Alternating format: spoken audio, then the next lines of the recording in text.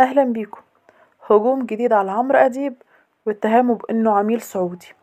إيه الحكاية وإيه التفاصيل؟ دي اللي هنعرفها في الفيديو.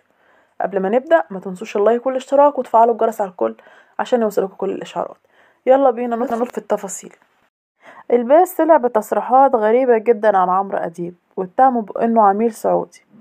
قال له يا عميل يا سعودي أنت ما بتتأثرش باللي بتخوف بيه الناس ده انت أول واحد هيركب الطيارة هو وعيلته. وطبعا تصريحات محمد الباز دي جت بعد تصريحات عمرو أديب عن أي حاجة بتخض المصريين وبتخوفهم.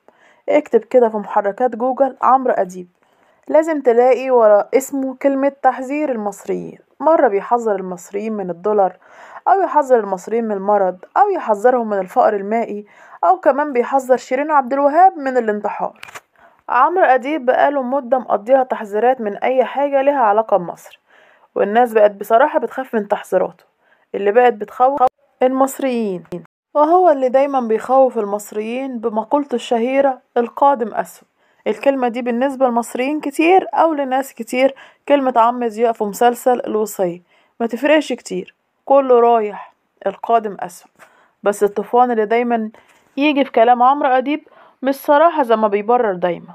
لأن كلام عمرو أديب في الفترة الأخيرة بقى بيهدد المصريين وبيخوفهم. والكلام ده حس بيه الإعلامي محمد الباز اللي قرر يهاجم عمرو أديب ويوضح للرأي العام إن أديب اللي بيطلب المساعدة ده مش أديب بتاع زمان اللي كانت شعبيته جاية لأنه صريح وحقاني. أديب بتاع الحكاية بقى حدوتة سعودية مش مصرية. والباز قالها واضحة بالفم المليان. قال له يا عمرو يا أديب انت ولاءك لمين بالظبط؟ وكمان طلب من الناس ما تصدقش عمرو أديب ووصف كلامه بالهزل وإنه فعلا لو في مشكلة ضخمة أديب وعيلته مش هيتأثروا. هيروح يقعد في السعودية لأنه عنده كفيل. الباز كمل هجومه على عمرو أديب وقال عنده فلوس تكفيه بعد يوم القيامة. وقال كمان عليه ده عميل سعودي عمرو أديب بيقبض في السنة 42 مليون دولار. والمبلغ ده محدش وصل ليه في الشرق الأوسط كله. ومقابل المبلغ ده إنه يسوق للمشروع السعودي أكتر من المصري. كلام الباز مش جديد على الناس. اللي شافت سيادة المستشار مش بتاع الكرة طبعا وهو بيخبط على كتف أديب من كذا سنة لما مضى معاه العقد وقال اللي بعده. في الوقت ده الناس استغربت سكوت عمرو أديب على الإهانة دي. بس الصورة للأسف وضحت لما عمرو أديب ظهر للناس الملفات اللي بيتكلم فيها وبيحاول يمسك العصاية من النص بس أوقات كتير العصاية بتفلت منه. والأغرب بقى إن بعد كل الكلام اللي بيخوف الناس بيطلع يعمل فقرة أكل اللي بتعمل دعاية عنده. محمد الباز مش أول مرة يهاجم عمرو أديب. في 2018 قال إن عمرو أديب من مدرسة الجعجعة الإعلامية والمفروض يقعد في البيت وإنه وإنه ما بيفهمش من الأداء المسرحي اللي بيقدمه أي حاجة.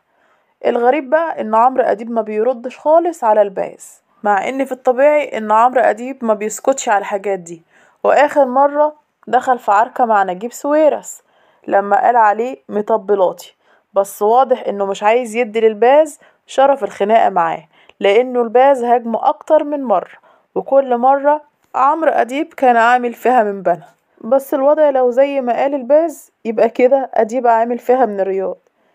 اكتبوا لي رأيكم في التعليقات وما تنسوش تشتركوا في القناة وتفعلوا الجرس على الكل عشان يوصلكوا كل الإشعارات. وال like عشان بيرفع الفيديو.